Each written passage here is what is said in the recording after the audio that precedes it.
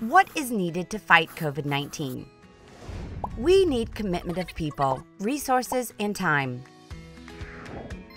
We need people all over the world to investigate, collect, and interpret data, and use the best evidence available to inform COVID 19 prevention, treatment, and public health measures. In addition, we need volunteers to participate in studies and everyone's cooperation with following public health measures. To make all this possible, we need resources money, labs, computers, infrastructure, and also something that cannot be bought time to conduct studies and analyze their results. By uniting the commitments of people, resources, and time, we can obtain the best scientific evidence for health treatments.